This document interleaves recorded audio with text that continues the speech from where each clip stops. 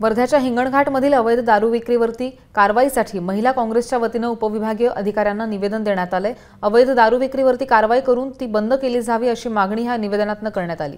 यावेळी महिला काँग्रेसच्या नेत्या आणि कार्यकर्त्यांची उपस्थिती होती.